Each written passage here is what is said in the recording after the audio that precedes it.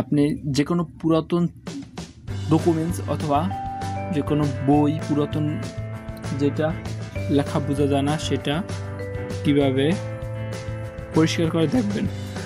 এই টিপসটা যে কোনো স্টুডেন্টদের জন্য অনেক ইম্পর্টেন্ট যে কোনো ডকুমেন্টস তাদের পূরণ হয়ে যেতে পারে বা অন্য রং হয়ে যেতে পারে, কালো অথবা লাহার হয়ে যেতে পারে, এটা কীভাবে আপনি ফসা করে দেখবেন।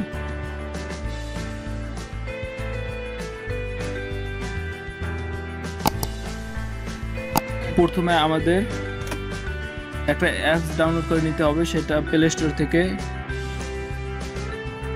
প্লে স্টোর যাওয়ার পরে আমরা সার্চ করব ক্যাম স্ক্যানার এই যে এখানে ক্যাম স্ক্যানার ক্লিক করলাম। ক্লিক করার পরে প্রথমে যে এই যে এরকম সিএস লেখা দুই মিলিয়ন রিভিউ এটার উপর ক্লিক করবেন। এখানে ইনস্টল করে নেবেন। ইনস্টল করার পর ওপেনে ক্লিক করবেন। ওপেনে ক্লিক করার পর এরকম দেখাবে। এটা, ওয়েলকাম টু ক্যাম স্ক্যানার। টানবেন টানার পরে। এরকম একটা অ্যাড আসছে, অ্যাডটা কেটে দেব। তারপর ইউজ নাও রেজিস্ট্রেশন সাইনিং এর দুইটার একটা করব না ইউজ নাও এটার উপর ক্লিক করব। তারপর এরকম পারমিশন চাইবে, তো আমরা অ্যালাউ করে দেব। এটা ডাটা লাগে না, তাই ডাটা আমি অফ করে রাখলাম। ডাটা অফ করার পরে এই যে এখানে কোলক চিহ্ন দিয়া কেটে দেবো, কোলক চিহ্ন কেটে দেবো। তারপর স্টার্ট স্ক্যান এই যে লেখা, এটা ক্যামেরা অপশন লাফাইতেছে এটার উপর ক্লিক করতে হবে ক্লিক করলাম। তারপর অ্যালাউতে দেবো অ্যালাউতে দিলাম। ওই স্টার্ট ডেমো ওটার উপরে ক্লিক না করে কোরস চিহ্ন দিয়ে কেটে দেবো। কোরস চিহ্ন দিয়ে কেটে দেওয়ার পরে আমাদের এরকম দেখাচ্ছে, এটা এই এখন আমরা এই ছবিটা তুলবো, এটা কিন্তু কালো। এটা আমরা ফসল করে দেখব। এই যে ছবিটা তুললাম, ছবি তোলার পরে এরকম। আচ্ছা আপনারা এখান থেকে ক্রপ করে নিতে পারবেন যেটুকু পারেন।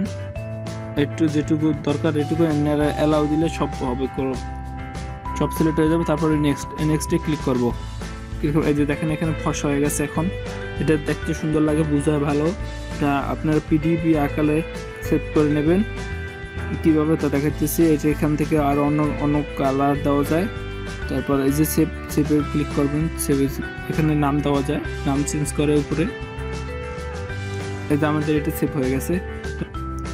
যে আমাদের ডকুমেন্টসটা সেভ হয়ে গেছে। সেভ হওয়ার পরে আমরা এটা নাম পরিবর্তন করতে পারব।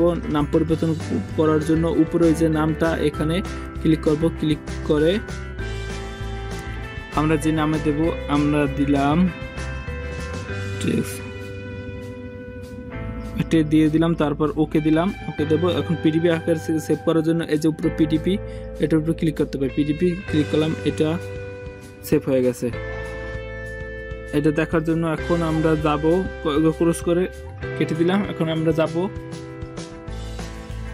তারপর ফাইলে ফাইল মেনুতে ফাইল মেনু যাওয়ার পরে আমাদের যেখানে সেভ হবে এটা হলো ফোনে ফোনে যাওয়ার পরে যে ক্যামেস ক্যাম স্ক্যান এখানে ক্লিক করব। ক্লিক করার পর এই যে আমরা টেক্সট আকারে এটা সেভ করছি এই জন্য পিডিবি আকারে টেক্সট লিখে সেভ করছি, এই যে পিডিবি এটা।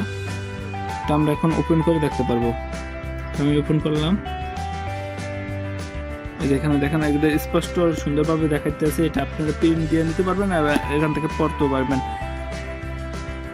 তো বন্ধুরা, ভিডিওটা যদি ভালো লাগে, তবে ভিডিওটি লাইক করবেন কমেন্ট করবেন, আর চ্যানেলটি সাবস্ক্রাইব করবেন, পাশে থাকা বেল আইকনটি ক্লিক করে অন করে দেবেন। ধন্যবাদ।